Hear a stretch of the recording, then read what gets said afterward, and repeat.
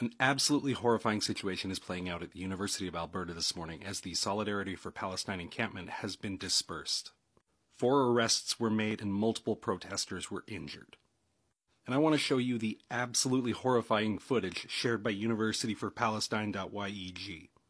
Just watch the force that the officers used breaking up this encampment. Move!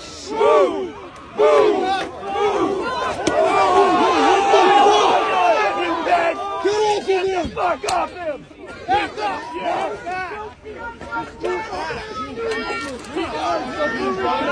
Real proud of yourselves, huh? Bunch of tough guys.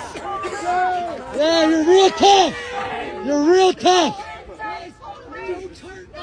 And this is just one of the injuries from those baton strikes. There was also tear gas and multiple other crowd suppression measures. This is absolutely horrifying. Watch this footage. Dude, what the fuck? What the actual fuck? What's wrong with you? What's wrong with you? This is people using their freedom of expression on public property and being violently attacked.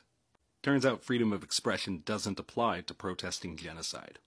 This is shameful behavior by the University of Alberta and the Edmonton Police.